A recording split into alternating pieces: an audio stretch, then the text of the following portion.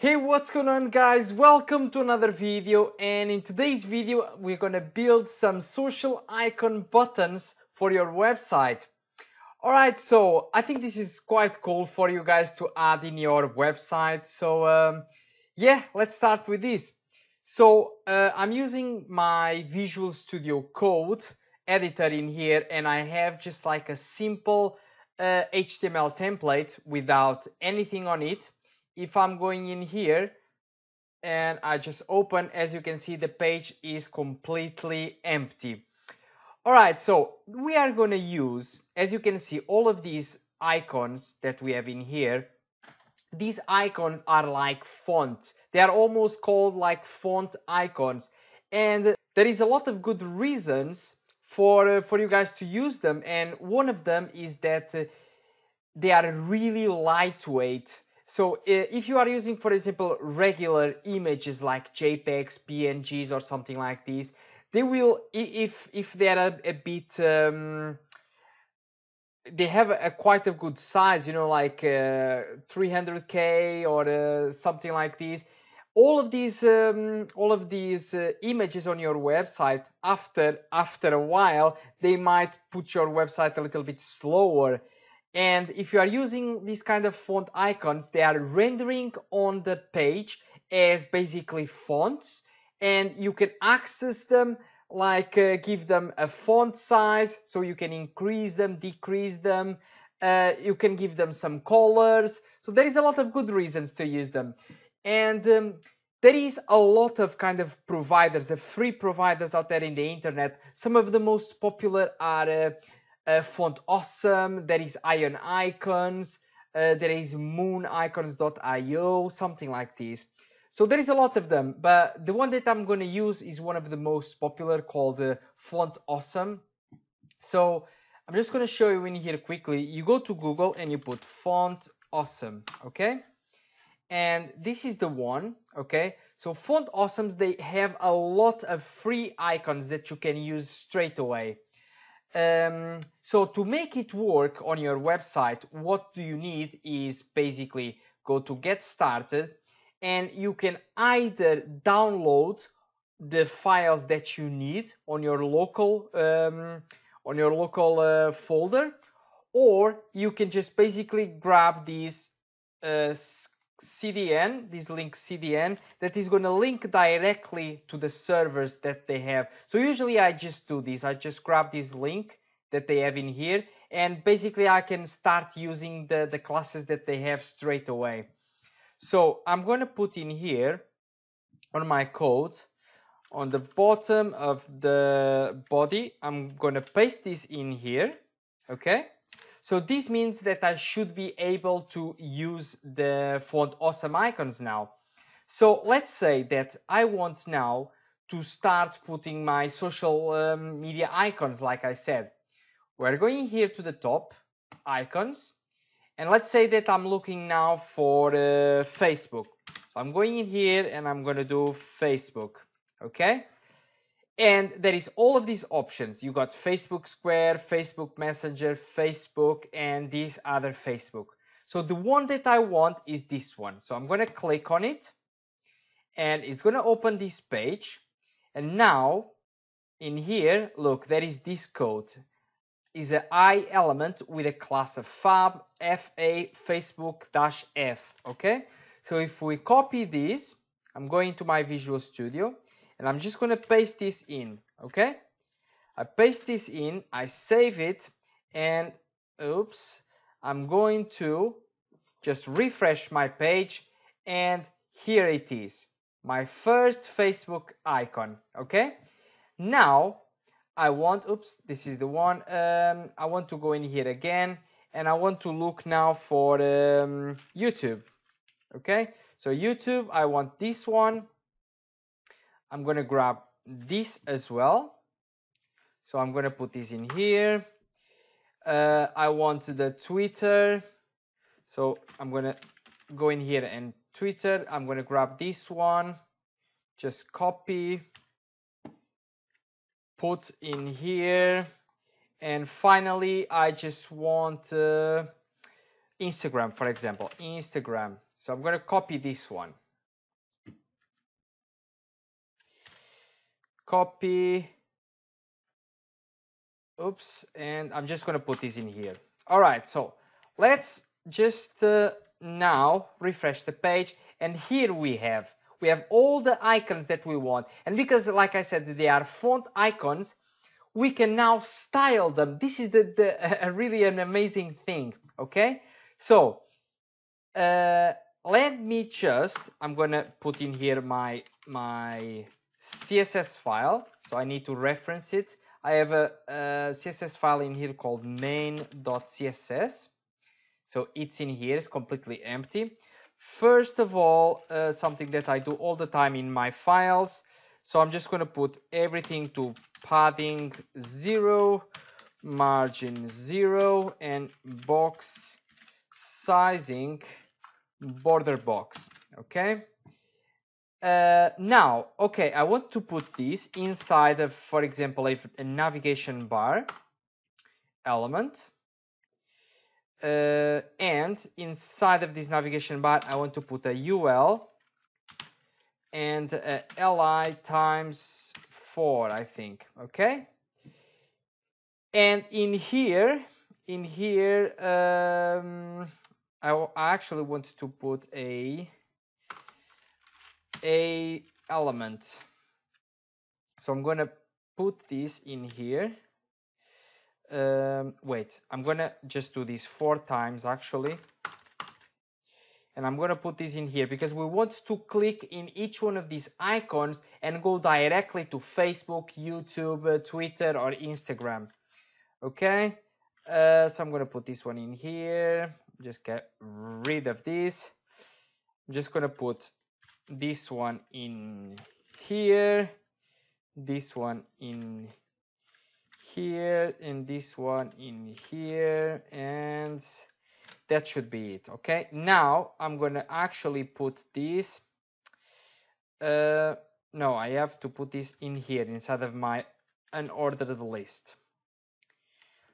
I'm gonna put this here one more and finally this one.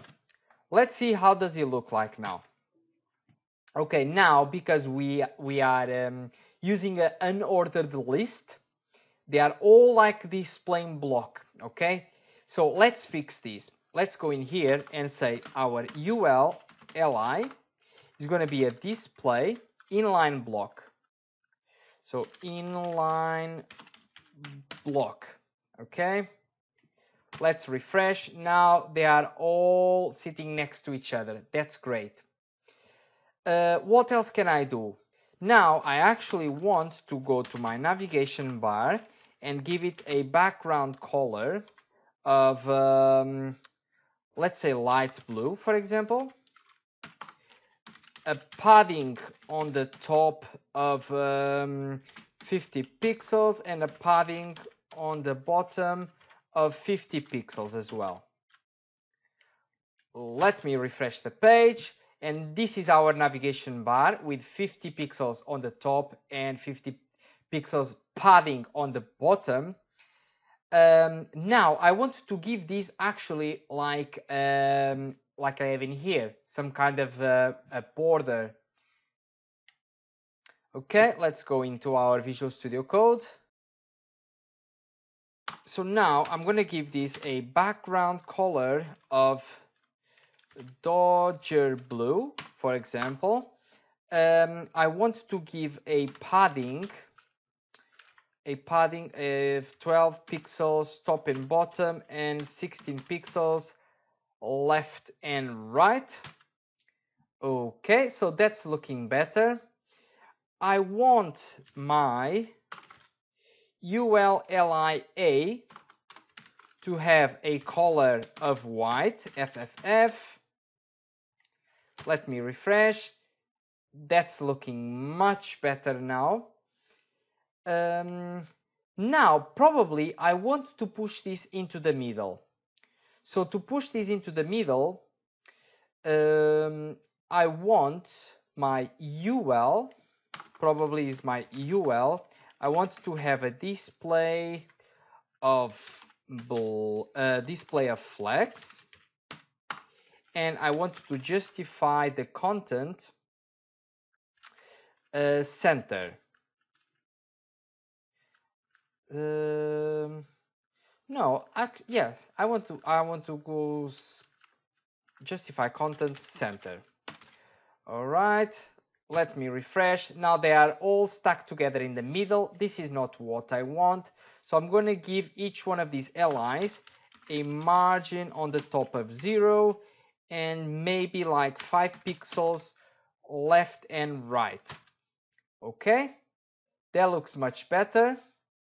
I want that whenever I put my mouse over them, I want the cursor to be a pointer as well. I'm going to refresh and if I put my mouse hover, look, that looks much better. Uh, what else? What else can I do in here now? Um, ah, let me put this maybe a width of 100% of the parent and the height 100% of the parent. Let's see how does it look like. Yeah, so we can actually get the link. So now if I, I just want to put basically whenever I hover with my mouse to change the background color. Uh, so whenever I hover my UL li, so UL li, hover, I want the background color to change to maybe a royal blue. Let's refresh the page. And look, now it's changing the color. Yeah, but it's too fast for me. So what I'm going to do is I'm going to put in here on my ULLI that whenever there is a transition, I want to target everything so the transition can be background colors, width, height, color, all of these kind of things. So I want to target all and I want this transition to take like 0.7 seconds and I want it to be at ease. So it, it means that it's a smooth transition, all right? Uh, so if I refresh the page, let's see. You see how, how smooth it is. But now I also want my icons to change the color. So I'm going to put in here uh, UL, LI on hover. I want to target the anchor element. So this is the anchor element, okay? Uh, I want the color, which is for the text, to be, um, let's say, what, what can I do in here? Uh, yellow. Yeah, just for fun. So if I look, this is cool. Let's say now that whenever we hover, we also want to change the size of the icon. So if I put in here font size uh, 20 pixels, for example. I don't know how, how this is going to look like, but let's just try.